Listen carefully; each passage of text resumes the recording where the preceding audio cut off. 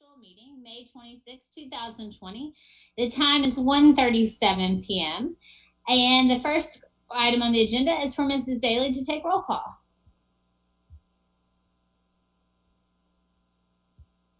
Good afternoon. Mr. Raymond Daniels, Present. Mr. Daryl Love, Present. Miss Christy Morris, Present. Mr. Tyler Murphy, Present. Miss Stephanie Spires. Present. Thank you. Thank you, Mrs. Daly. I'd like to begin by welcoming everyone who is tuned in to watch today's virtual meeting. I know we have a lot going on. I actually just noticed in the background I have balloons from kindergarten graduation because a couple teachers stopped by and dropped these off today. Um, so I have a proud graduate in the house. Um, and I know that our teachers and our administration are, are really busy, and so I appreciate everyone that's tuned in and watching right now. Um, we'll start the meeting by reading our mission statement by Mr. Tyler Murphy.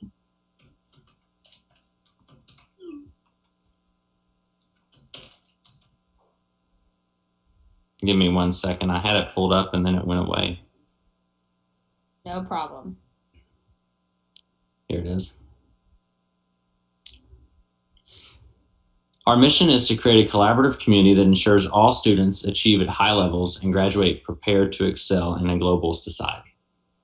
Thank you, Mr. Murphy. Next, I'll read the purpose of today's meeting. Pursuant to KRS Chapter 61, notice is hereby given that on May 22nd, 2020, the chair of the Fayette County Board of Education called a special meeting of the Board of Education for Tuesday, May 26, 2020 at 1.30 p.m. The Fayette County Public Schools Board of Education will conduct a virtual meeting on Tuesday, May 26, 2020 at 1.30 p.m.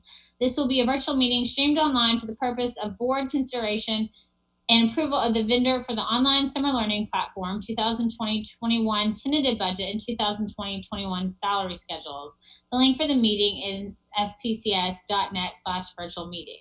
Please be advised in the state of a proclaimed national emergency and under a similar declaration by the governor, it is not currently feasible for the board to provide meeting room conditions in the face of COVID-19, a highly contagious virus that spreads between people who are in close contact with one another within about six feet.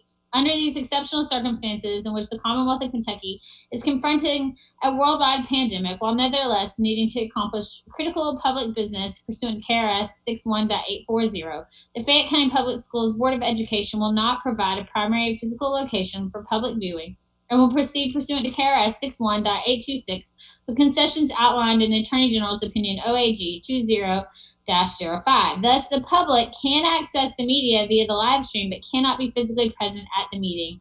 And at this time, I'll turn the meeting over to Fayette County Public Schools Superintendent Manny Caulk. All right. Thank you, Madam Chair. Let me.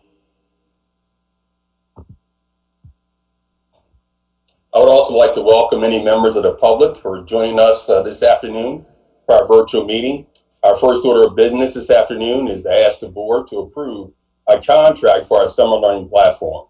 You will recall that at our regular meeting last week, we heard from Title I coordinator uh, Mindy Mills about an online learning platform that provides adaptive, one-to-one, intensive instruction and scaffolded supports in both literacy and mathematics for all learners in grades uh, pre-K through 8th, including our English learners, our struggling students, our students with special needs, and our gifted students as well. Mindy is with us again this afternoon if any of our board members have any additional questions. I just wanted to jump in and say I've talked to several um, elementary teachers in the past week. The advantage of having four in elementary school, and they are all excited that this is the curriculum that is being presented and that this is the opportunity that we're giving for all our students this summer. Um, and so the feedback has been really positive. I've also had really great feedback about this program, so I'm excited. Um, I think they had used it at school, but we hadn't used it at home yet. But several teachers um, told me that they really loved it, and so, and some parents. So it's exciting. All right. So if there's no further I discussion, oh, I have a question. Um, so I just want to know, and uh, I know we talked a little bit about this just uh, briefly about this particular program and the Power Scholars program that we have had with the Y. Um, and I understand we're going to go with this program. Um, uh, Ms. Mills, as we talked about it this summer, but what do we think in terms of our engagement going forward with um, the YMCA and the uh, Power Scholars Program? Well, I think at this point, let's realize that this platform that we're asking for you all to approve today is for our summer bridge for this summer, but then we also have this platform for the entire next school year, whether our kids are in school or whether we have to have extended closures again. I Understand? I don't see any reason why if things were to get back to normal per se, whatever that might be, the following summer, we would not want to continue our partnership with the YMCA and the Power Scholars Academy. It's just been difficult this summer because um, you know, we're not able to have students in our buildings. And that program really is only going to work best if it's face to face. So I think, um, Mindy, I think that the, the underlying question, and if I may, Board Member Love, is, um, or will the Y provide any summer learning in partnership with us this summer?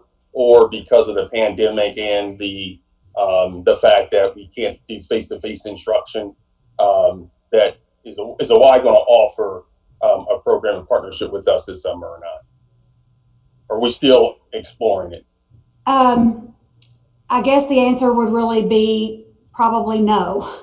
The YMCA is helping us with some of the incentives for the Summer Bridge program through some of the funding that they had originally received for Power Scholars if their donors were willing to do that. They are also pursuing to try to continue to do Power Scholars on their own later in the summer if things open up enough that they could do that at their sites. Okay. Yeah, and I think it's both looking about the immediate as well as the long term. Because I think, and I look again, being a part of that program as we kind of brought that online and continue to grow it, you just kind of hate to see it kind of fizzle out. Now, I understand with the situation of innovation, we kind of think about, and understand this tool right here is just something to put in our tool belt to have not only advantage for our students during the summer, but also they'll have um, the opportunity to use the school we find ourselves in another extended out of the classroom type experience there as well. But I think we all agree there's nothing like that one to one when you're in a classroom setting with with students and that interaction that kind of takes place. Absolutely. I- I'll just add on um, that this tool, again, it's about um, being innovative in this time and space. Sure. So in a time and space where we can't, um, it's not um, because of the uh, pandemic and the health considerations and wanting to keep everyone healthy and in order to adhere to the, the guidelines espoused by the CDC, by the state health department and local health department. This is an innovative approach to providing uh, summer bridge and, and, and summer learning for students um, uh, in a remote way and virtually.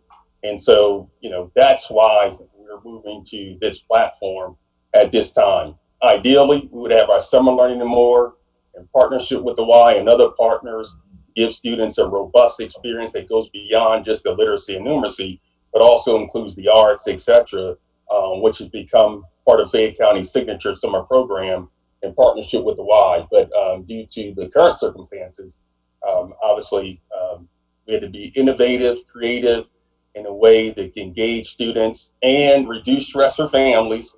We understand stress, and I'm, I'm one of the parents that we're all under uh, with students in school and uh, try to um, reduce that summer slide um, that happens.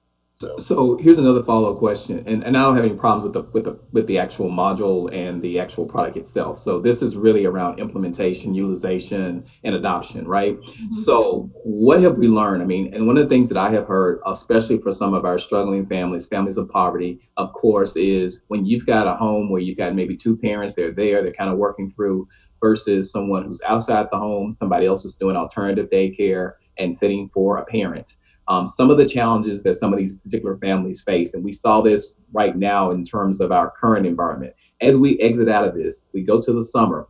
How are we going to really monitor to make sure that, you know, of course, if a student is signed up to take those particular classes, there is the extra support that's going to be getting given to that particular student, helping those particular families. And if we notice that something, let's say, for example, if a student has signed up, they're not engaging, what are we going to be doing to kind of help that? Because I think we'll all realize that a lot of students have lost a lot of learning over the last couple of weeks, and we're utilizing the summer as our catch-up period. So I just want to make sure that we're trying to do all that we can to make sure that, again, we're mitigating that wide. I mean, you're going to have some, you're going to have some slippage, but how can we mitigate that to make sure that we're still providing that learning opportunity for our students? Okay, so I think that um, the way we're doing that is every school is identifying what we're calling their targeted or focused students. And those are the students that are basically below the 40th percentile or thereabouts in reading and math. They will be assigned to teachers for the Summer Bridge program. So those teachers will have their group of students that they will contact and reach out to. We've got a sample, um, right now it's kind of a sample daily schedule. So if um, Miss Johns is one of our teachers, she may log on to her Google Classroom at nine o'clock in the morning and do a 20 minute live session with her students. That's going to be recorded so that if a student couldn't get on at that time, they got on later in the day. But that's her group of kids that she will be encouraging and contacting and trying to motivate to continue to participate for that time during the summer. Um, so those focus kids, which I think you are really referring to, will have contacts with a teacher throughout the summer bridge program. But the platform itself will be available to every student in Fayette County, pre-K through eight. But every student won't have necessarily a teacher contact. They just have that. And then the teacher for those focus kids will be able to monitor their data, look at how often they're getting on, how many lessons they've completed, and reach out to them to um, encourage them to continue to participate. And they are receiving a stipend for their time for that time throughout the summer, either through Title I, ESS funds.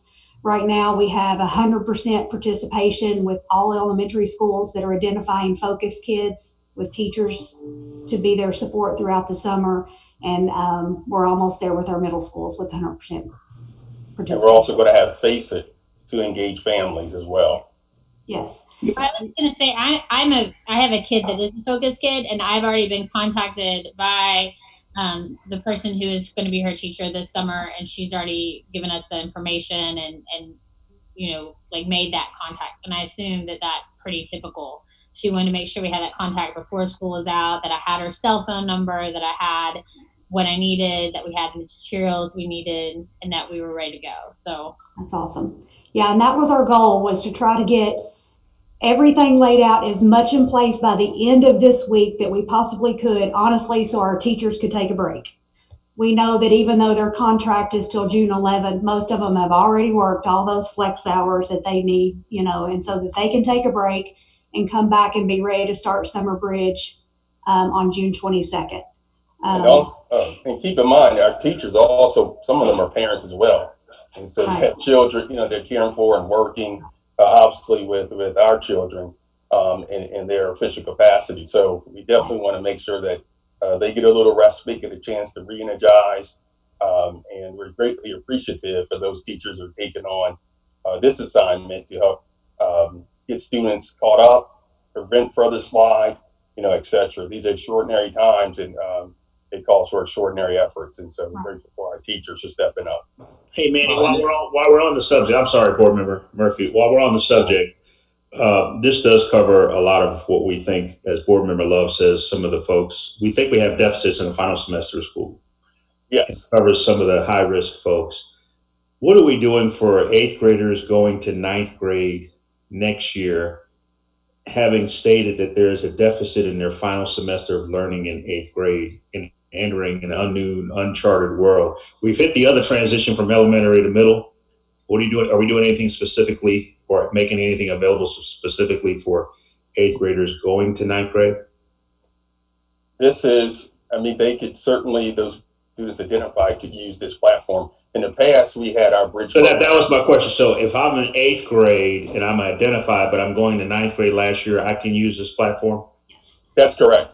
And Okay, actually, we have, we have asked our middle schools to keep their eighth graders throughout the summer for this platform because Okay, don't, that's, that's, that's what I wanted to clear. Thank you, thank you. so even though it might be a middle school teacher, they would still have contact throughout the summer to work on this.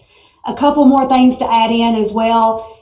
Uh, Superintendent mentioned the FACE with parent, with family and parent engagement. We are also going to have a supplement with some EL teachers. Schools with their focus students are going to be identifying specific students that need additional support from an EL teacher. So that's going to be part of the summer bridge. And we're also going to have district mental health specialists on call so that they can um, be on call for any teacher to reach out to them. So all of our summer bridge teachers will know who they are and they can reach out to them to say, hey, I've got a big concern with this student. Can you please help me check on them or whatever needs to happen with that support throughout the summer. And then our um, high No. schools also have Odysseyware that they had already purchased, which is another platform that high school students can be on to credit recovery and different things throughout the summer. Well, and it's also important to note too that this is not just uh, a summer program, right? It's it's supplementing uh, what we're doing in the summer and and with the uh, addressing the the bridge program and the gaps, but it's also going to be a tool uh, that can supplement instruction uh, next school year. But whether that's in a virtual setting or it's in the classroom or what have you, it may be the primary driver uh, of addressing these gaps this summer, but it's going to play a supplemental role next school year. That's correct. And, and that correct. summer data will be there to inform instruction in the fall, to, to Board Member Love's point, and help identify and address some of those gaps that students are going to come into the next school year with. That's correct. And because of, of the adaptability, how adaptive it is, it, it can pinpoint exactly where you're at, you know, um, strengths, weaknesses, and create the learning platform that's tailored to you as a student. And then because of your unique ID, it stays with you throughout the year. So you can, teachers can go in and you're right, it's going to play a primary role, but then a secondary role once we um, start the new academic year. So, you know, one of the things that I would say is that we're making this investment and talking about rolling it out is the communication for it. Um, and I think it's important not only for parents to understand that this is a tool that we're using for such a time as this, but through maybe our social media, just to make people aware that this is out there. I mean, for usage. I mean, there's some very, very good points, uh, Superintendent, that you just made, Mindy's made as well, uh, regarding how it can really help families at a self pace, right? So we, we have some of those students that we're targeting, but we do realize that given where we ended the school year, that there's some additional supports that's going to be needed. And I think it's important not only for our families, but our community to know that we're making that type of investment in tools like this to be able to help families. And it's out there free. So when you talk about the use of your tax dollars and then investment around how it helps to drive education, I think we shouldn't miss out on the point to really help promote this. And I Agreed. Think, I think that once our uh, senior sends off is over this week and our communication team finished with that, that you will see the big, huge blast for Summer Bridge uh, coming. We're already working on it. Just gotta tread the waters of what has to be done first. Ray Yes. says he'll stand out on Main Street with a sandwich board promoting it. Just, I'll bring you some water. anything that, you know but uh it, All it's a you know again it's about being innovative and creative in this time and space Agree. All right. Well, if there is no further discussion, a motion is to purchase Imagine Learning as an online learning platform for literacy and mathematics for the 2020-21 school year. I'll make a motion to order to purchase Imagine Learning as an online learning platform for literacy and mathematics for the 2021 school year. Thank you, Ms. Morris. So I have a second. I'll second. Second by Mr. Murphy. Any further questions or discussion? All in favor, please say aye. Aye. Aye. Any opposed? Motion passes five zero. all right thank you board thank you mindy the next item for your consideration is the adoption of the 2020-2021 uh, tentative budget over the past several weeks you've heard from multiple members of the district leadership team you heard from school leaders about the important items this budget will provide for in support of our district strategic plan At this time, I'd like to ask our Budget Director, Jelaine Mullins, and Chief Financial Officer, John White, to give a brief recap of our proposed budget. Good afternoon, Board and uh, Superintendent Caulk and others that are joining us that may have not have seen this presentation before. Uh, Next slide, please. Uh, Today's agenda, as uh, we've just discussed, approval of the vendor of the online summer learning, which you just talked about, approved. Thank you. Uh, Recap of the approval and approval of the tentative budget for FY21 or the the year of 2020, 2021, as well as approval for the salary schedules for the same year. Next slide, please.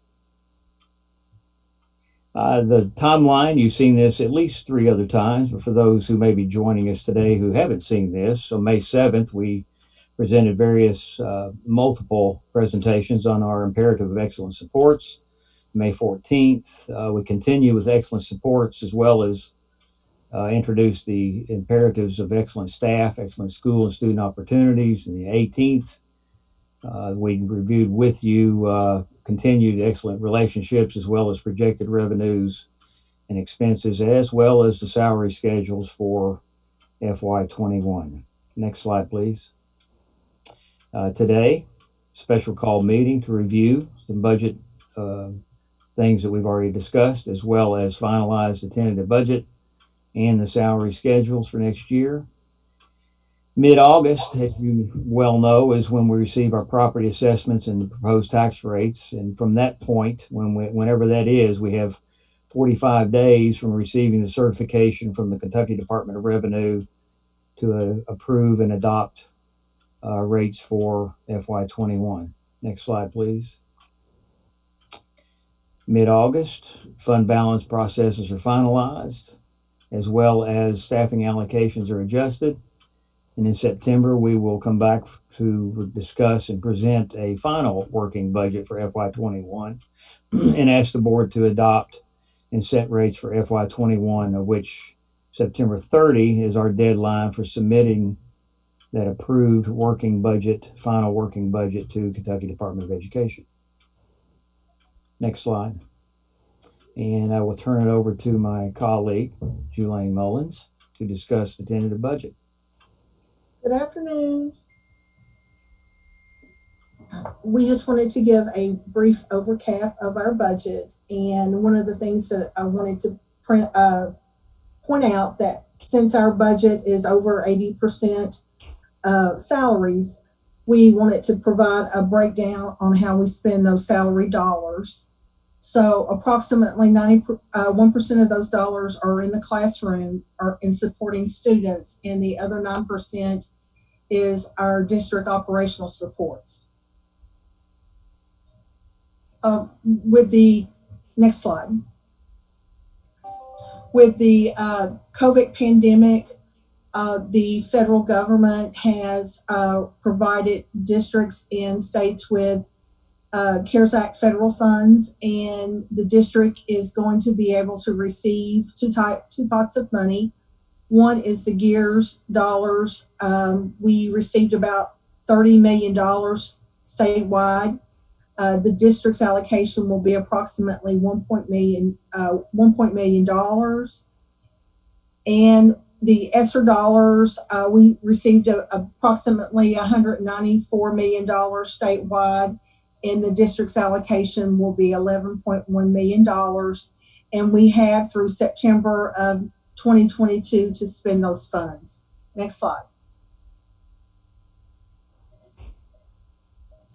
Those funds were awarded to districts through the Title I formula.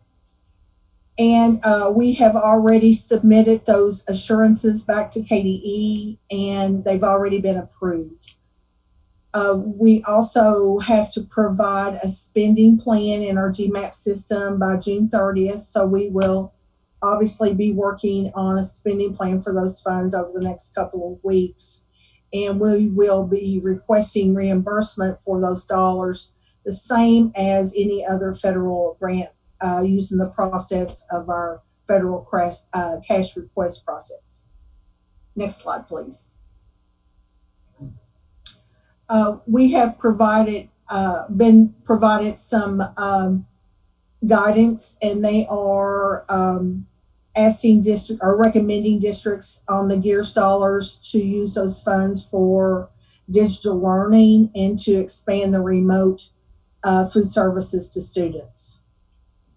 Also, on the ESSER funds, they have recently, within the last day or two, provided some guidance, and we are going to have some flexibility uh, on how those dollars are spent. Um, but again, um, we they are to be used to overcome the barriers that districts have incurred due to the COVID nineteen uh, pandemic here in the district. Next slide. Our general fund budget um, this year for our new program, we are uh, starting a, a K-8 STEM program that will begin in the fall. And the cost of that program is roughly $1.9 million. And we have broke down those costs off to the side so you could see what went into those, um, how we came about including those numbers. We are also, uh, we have our um, STEAM building uh, academy that's uh, currently in the O. Johnson building. Uh, their new facility will be uh, ready this fall. Uh, so we are helping with some, uh, they received a lot of donations from their community partners. But uh, again, we are having to put some general fund support in there to make sure they have a state of an art science lab. We are also got some exciting partnerships going on with some of our programs. Locust Trace has partnered with KTLA, and we are providing our part of the partnership is we are going to provide a, a 0.5 um, equine teacher, an ag teacher for the upcoming school year to help support that program.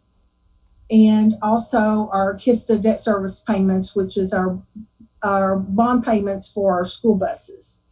All of that is funded in the general fund. So uh, this year on our bond uh, schedule, it has went up approximately $168,000.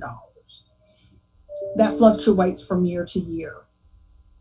We are in, expecting approximately a 10% increase in our, on our fleet insurance this year, our, our property insurance. And our fleet insurance, we're in, in uh, seeing an increase in that because of the uh, changes in vehicles that we're adding to the policy, like we we replace our uh, buses and uh, do some other type of routine uh, maintenance and uh, replacement cycle each year.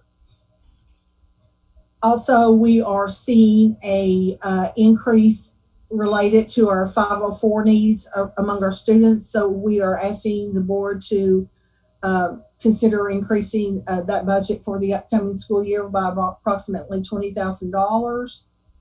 We are also um, needing to put portables in place to relieve some overcrowding at Winburn and uh, Jessie Clark for the upcoming school year. We are seeing some changes in our transportation um, with our routes with student more student ridership as well as the implementation of our uh, new STEM program. We are also seeing some slight increase in our utilities, and that is due to uh, the opening of our STEM program as well as uh, the procurement, of our Park Place facility. And again, I left it on there, but I wanted to make sure that the uh, that we just reiterated that back in January, we were expected to see a $1.3 million increase in our CERS rates, which is our uh, classified retirement system employer match. And uh, the rates had already been approved for the upcoming school year, but we received a memo a couple weeks ago where uh, the retirement systems board um, they voted to keep those rates flat for the upcoming school year to support districts and, and counties and as well as health departments for the upcoming school year to try to help uh, ease the burden of the, the pandemic. So we're just very appreciative, and I, I just wanted to make sure that we put that out there.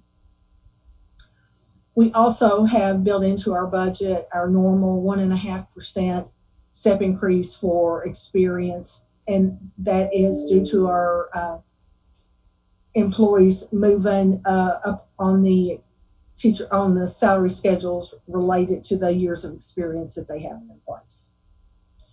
That brings our total uh, recurring expenses to approximately one, uh, $6.4 million. If you look at our revenue um, streams for the upcoming school year, uh, we did not build our budget predicated on the 4% as we have normally done in the past. We looked at the revenue that we had received above budget this year. Um, as you all are, are well aware, we have somewhere between a 96 and a 98 or 99% collection rate at any given year. And I normally budget at the 96% rate. Uh, we do this to help make sure that there's a slight cushion in case there's other revenue streams that do not make budget for that particular year. So currently, we have approximately $4 million of recurring revenue that we have received for this year that has not been budgeted out. And looking at historical analysis uh, between the compensating rate and the 4% rate, we believe that keeping the rate flat as is, we would still gener- uh, generate approximately $3 million. So um, we will know more in um, as we get those um, tax rates and assessments later on in the summer. It looks like they're going to be delivered to us, as John alluded, a little later than what we normally receive them. But we'll know more then. But at this point in time, this is our, our best project uh, our best projection of those revenue streams for the upcoming school year. Also, uh, we are looking at a decline in interest rates uh, for the upcoming school year. So we're going to reduce that uh, projection down by approximately a million dollars. We are looking at a huge um, projected decline in our occupational license tax, which is our payroll tax.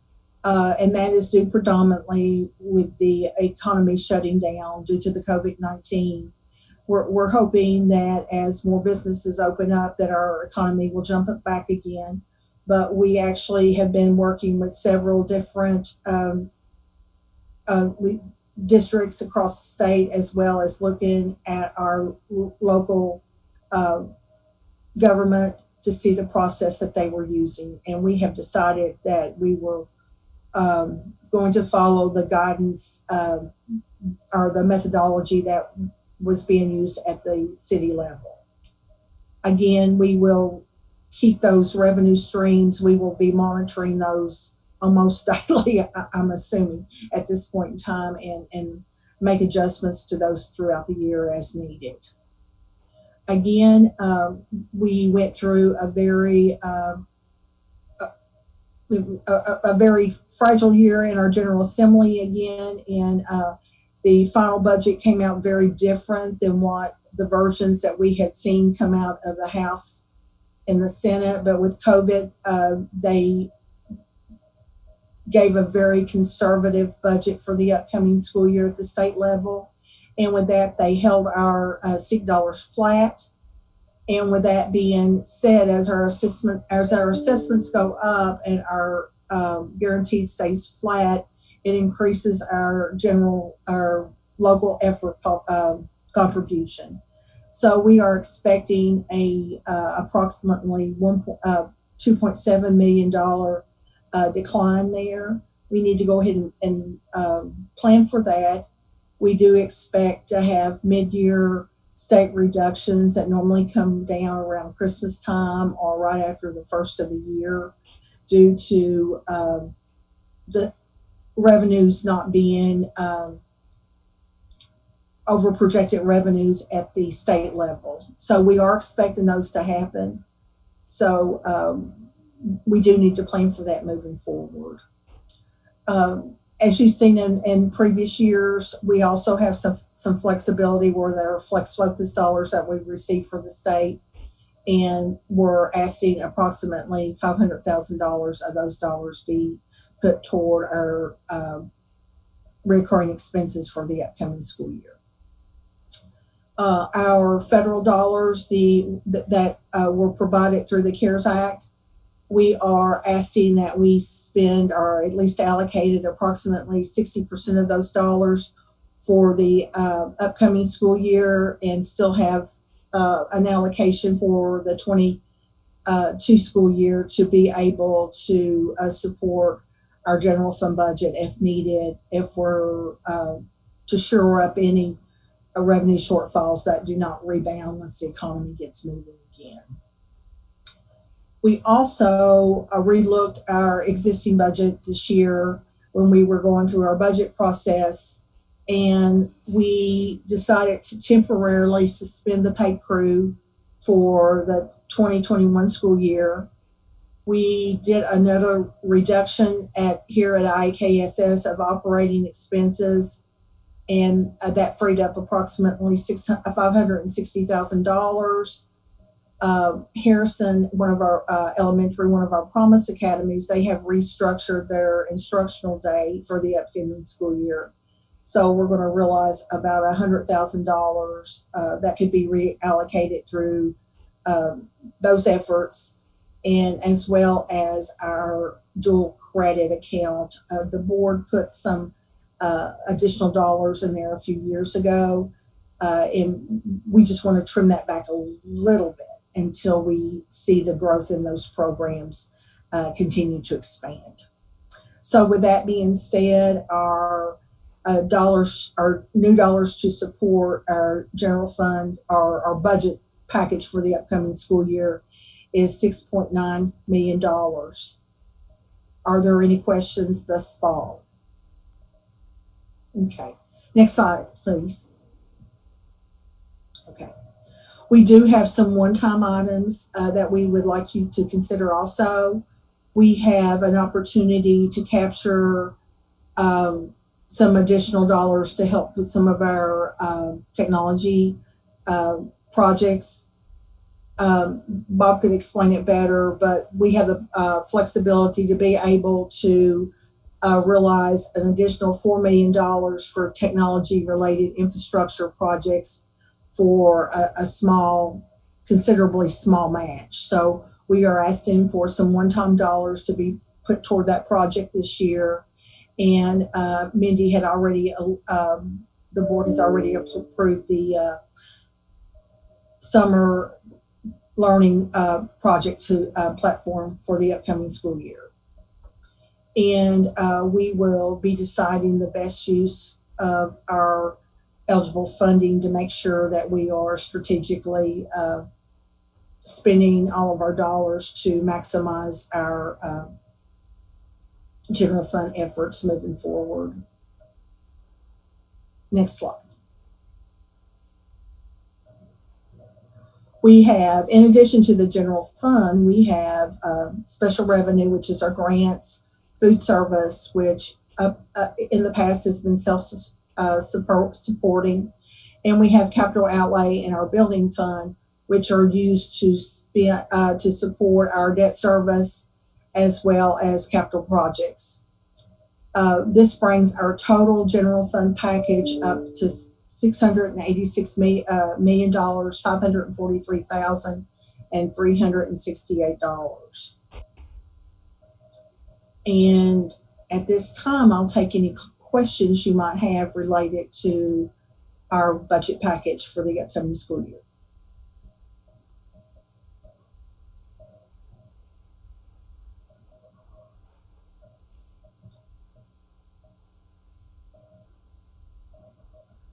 Okay.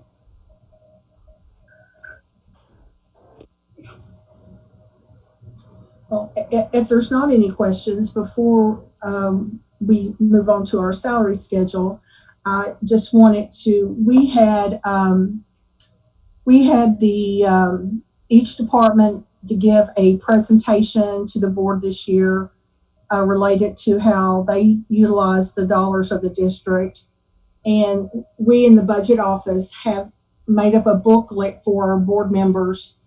It, it encompasses our district budget document that you already have in your possession and the PowerPoint presentations that were provided, along with a summary of not only our departments, but the dollars there are being spent at the school level. I think it will be a very useful tool for you all to have in your possession as you're talking to your constituents um, this year regarding your budget.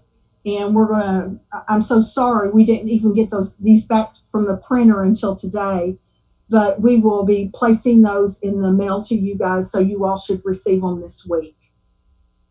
All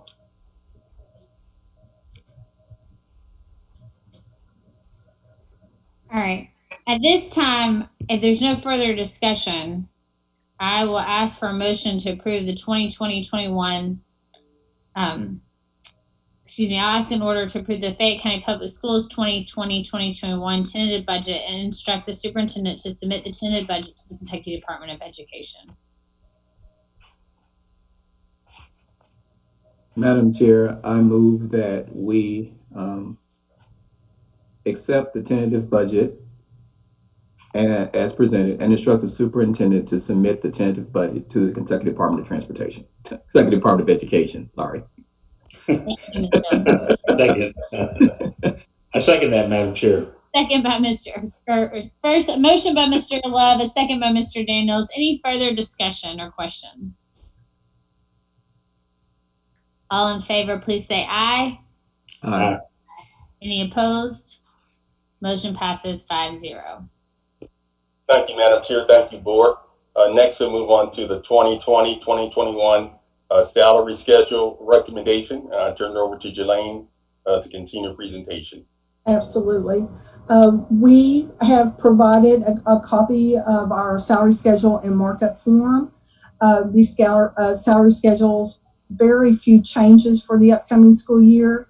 Uh, no salary increase, but we will see our employees move up on the salary schedule.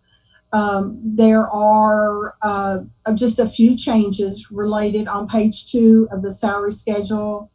Uh, there are, is some language uh, related to uh, how um, we will move up on the salary, uh, employees move up on the salary schedule based on their education level, particularly when we do like a plus 15 uh, type language. It's just clarifying language.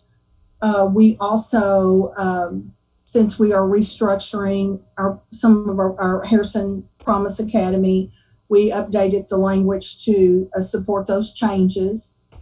Um, we also included an $800 supplemental stipend for our dance team. Um, they have a, I guess, a committee, an athletic uh, committee here that that meets uh, quarterly or monthly, and they felt like they had enough participation to make sure that they warrant that they had uh, representation on that committee at the district level. Uh, also, there on page 24, there is clarifying language re- related to classified pay for transferring experience and increases for educational experience. Are there any questions uh, related uh, to any of our salary schedules or proposed changes for the upcoming school year? Uh, yes, Jelaine, I, I've gotten some inquiries about the changes to the classified um, schedule because I know that I asked last time with these changes, um, like retroactively applied to current employees. But I, there seems to be a concern among current classified hourly employees that there's almost a penalty if there's a if they given the this language that we've been presented that there's a penalty a penalty if they uh, transition to a salaried position. So even though it may be a for lack of a better term, a promotion, it may require more certifications if they've been in a uh, classified hourly position a certain length of time at a certain grade level. Uh, getting additional certifications and then we hire someone within the district and they take a salaried position that could actually result in a reduction of pay can you can you speak to that is that is that a consequence of some of this language here I'm going to let Ms. Dyer respond to that. okay Yeah, um, let me first of all clarify that there is no structural change, um, in these revisions. This is the way it has been done, but because, um, as we move forward and as we work with our employees, sometimes there are things because of our continuous improvement process that we want to clarify. There has been confusion of the interpretation around this, which is why we have put in the clarifying language. What you're referring to, um, Board Member Murphy, is there are in the hourly section of the classified hourly salary schedule, there are some certifications. Those aren't teacher certifications. These are things like um, a plumbing license in our operations, um, our electricians. They have electrician license. Law enforcement, there are extra certifications above and beyond the minimum requirements that you can get, and they count towards a step. A step on the hourly salary schedule is not equivalent to a level on the salaried schedule because that is a year's worth of experience. That's beyond someone's whether you have a master's, whether you have a rank one, whether you have a rank two, whether you have that's how you get that on the salaried schedule with education. These aren't college certificates; they are licensures that have to do with your current job. Um, in our technology department, there are several. Like if you look on that list in the back, there are several different ones for um, security, uh, cybersecurity. You can go online, you can take courses in our, cl- our um, clerical areas, administrative assistants. They can go get Microsoft Office certified. That will count towards one level, one step. But again, a step on the hourly side is not worth a years of experience that is equivalent on the uh, salary schedule. And so those apply for those hourly positions. When someone takes a salaried position, that is a whole different um, way of setting people up. And that's in statute based on your ex- education and your experience level. There have been some employees that said, yes, if I took this two week course and got a certificate, that you should give me a full year's worth of experience over here on the salaried schedule that it took a teacher a full year. Teacher could not go online and take a certificate. They would have to become certified like national board certified or something like that to see that increase for those type of certifications to be applicable to the salaried schedule. So that those type of certificates that are allowed on the hourly schedule are not comparable to a step on the salaried schedule that is a year's worth of experience. Um, there are other methods. Again, um, when someone moves over, we look at their educational level, whether they follow the bachelor's, the master's, master's plus 15, all of those things. So there's no language changing the structure. It is just making it more clear. So when someone reads this, um, if they're looking at changing, it makes it more clear to them if they didn't ask um, specific questions. We're hoping that this language helps clarify that from the beginning. So they still get to bring over all their years if it's applicable. Um, but in regs, what counts for a certified teacher, you can't say that a para educator, their experience as a para is going to count as experience as a teacher because in regs, that's just not allowed. Mm-hmm. Does Yeah, that, yeah. that make So sense? it, that was my so my my biggest question, and, and again, this is something we harped on where we talked about last time.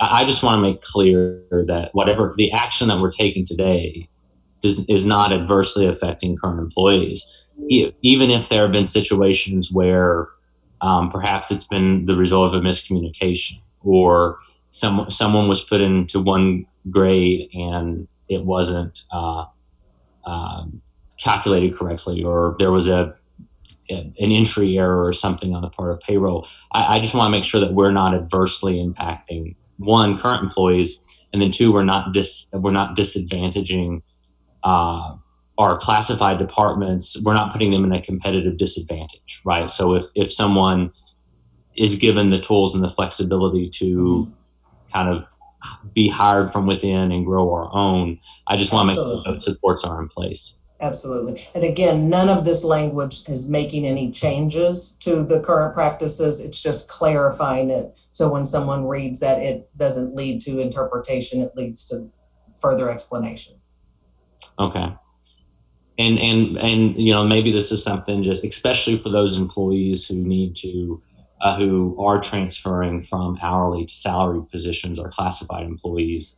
Uh, we just make sure that the communication during that transition and, and the recruitment process is is clear so that they kind of understand the consequences of that. I, uh, appreciate that, and yes, and we we have um, reflected and made some of those changes so that we are now making sure that some of that salary is um, discussed up front. Um, oftentimes, that's done after they've accepted an offer. Um, so now we have changed some of those practices. So I appreciate that input and anything else, but yeah, we will continue to look and make sure we're as clear as possible. Thank you.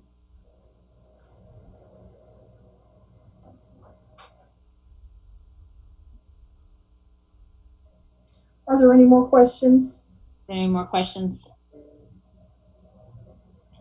If there are no additional questions for the staff at this time, I will entertain a motion.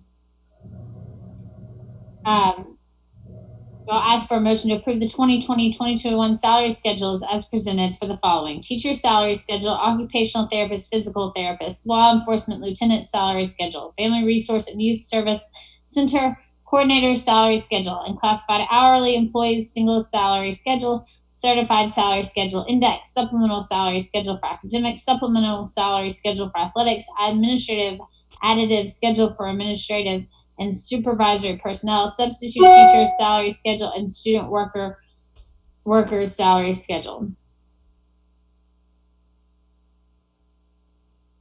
Madam Chair, I'll make a motion to approve all salary schedules as presented and listed. Thank you, Mr. Daniels. I have a motion by Mr. Daniels. Do I have a second? I'll second. A second by Mrs. Morris. Is there any further questions or discussion? All in favor, please say aye. Aye. Any opposed? Motion passes five zero. At this time, I will entertain a motion to adjourn the meeting of Fayette County Public um, Board of Education. I move to adjourn, Madam Chair. Second. Have a motion by Mr. Murphy. I think the second was by Mr. Love.